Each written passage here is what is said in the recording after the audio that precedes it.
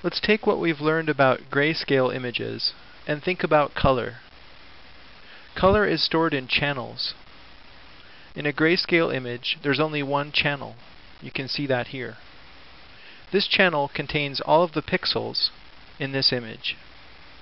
Remember, in a grayscale image, or 8-bit image, each pixel can have 256 different possibilities or shades of gray.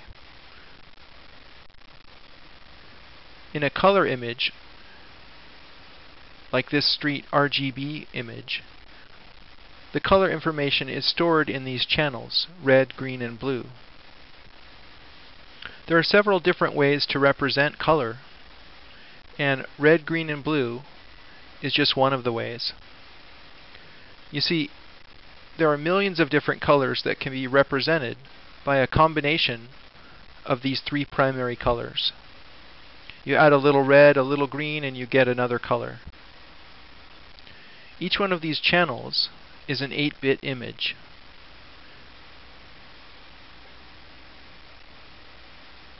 When you composite those channels together, you arrive at the ultimate color photo. Let's take a closer look at just one of the channels. I'll turn on only the red channel here and we'll zoom in closer so we can see the individual pixels that make it up. I'll use the eyedropper and grab some colors off of the image. Notice that these are actually in grayscale over here.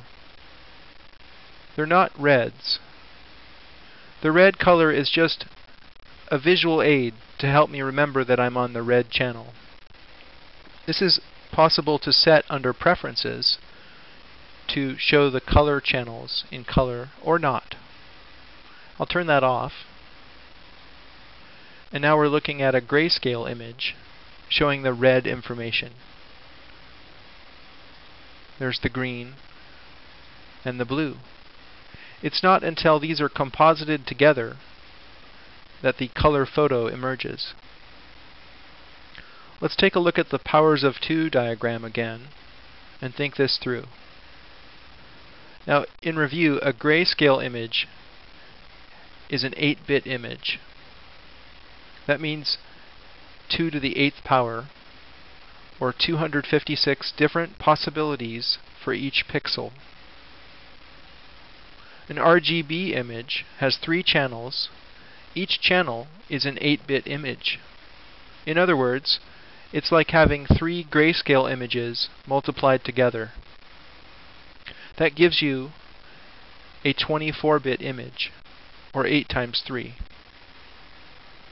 This is 2 to the 24th power, and if you do the math, it comes to over 16 million different possibilities for each pixel.